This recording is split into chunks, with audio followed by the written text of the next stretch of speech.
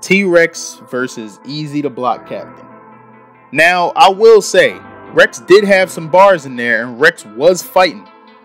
But I had EZ Da Block Captain winning this clearly. Now, of course, nobody's surprised at what I'm about to say about Rex.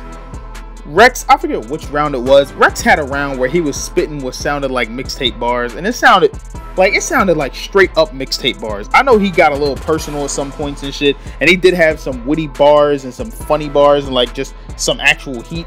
But there was some moments where he was just spitting straight filler, and it was just mixtape bars. But every single second Easy was rapping, he was assassinating Rex's character. So I just feel like Easy's bars outweighed Rex's because he got personal, disrespectful, started talking about their careers, how Rex fell off, and he just was picking Rex apart. Like he was like I felt like I was watching a Mook battle the way he was really cutting into this man. Like Easy is an angler.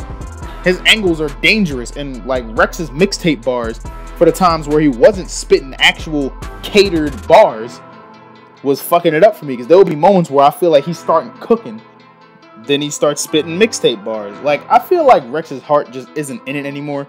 Like I think he'll write parts of rounds, and then whatever he didn't write, he'll just fill it in with bars he might have had laying around for a song he didn't write, or sometimes, as we've seen, bars from songs he's actually released.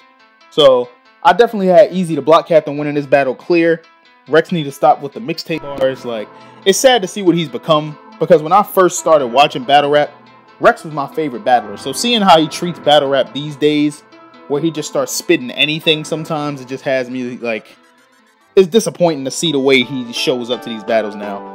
But EZ Da Block Captain definitely was fire, didn't disappoint. I had Easy winning this battle clear.